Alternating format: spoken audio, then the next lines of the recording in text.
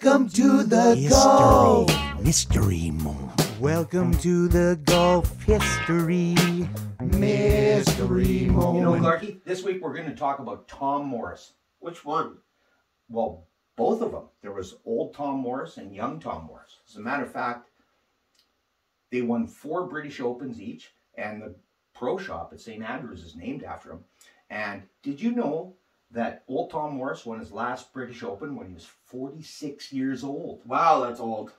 Hey, young Tom Morris won his first British Open when he was 17 years old. Wow, that's young. What were they like back then?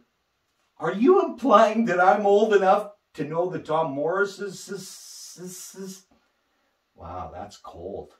But Bogey, you are old.